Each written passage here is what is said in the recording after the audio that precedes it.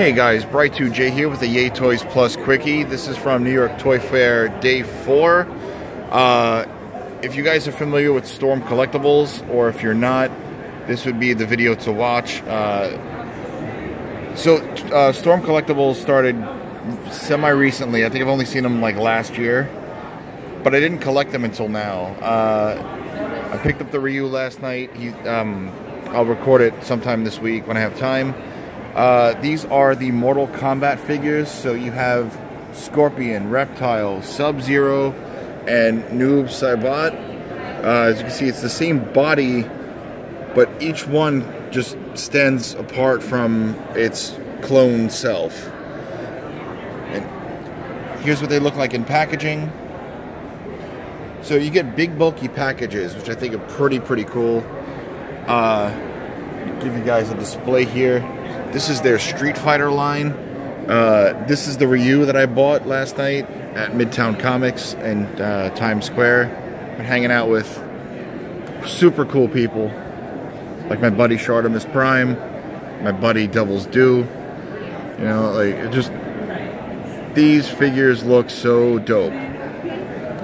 I wasn't sure if I was going to pick up the line, but then that Ryu just called to me, and now I might have to start collecting these. Yeah, Ken and Ryu. And then it looks like another version of Ken back that way. Just the different colors. Fighting Bison. Yeah, Chun-Li and Zangief. Better look at the Mortal Kombat figures. Uh, yesterday they had uh, Shao Kahn and Goro, and it looked really, really good. But it's, it's day four. I get it. You know they're breaking things down. Uh, yeah, so a lot here at Storm. Here you have Alex from Street Fighter Five. And from uh, Tekken 7. Yeah. Heihachi has been out, I believe he's been in every single Tekken game. And then here's just a quick imagery of some future Street Fighter. If they're to do an Evil Ryu, I'm to have to collect this line for every single Street Fighter figure. Yeah. So, uh, see if I could spin around a little bit more here. Ah, here's a better look at Chun-Li, the Cowardly Lion Akuma, which I'm still not a fan of that design.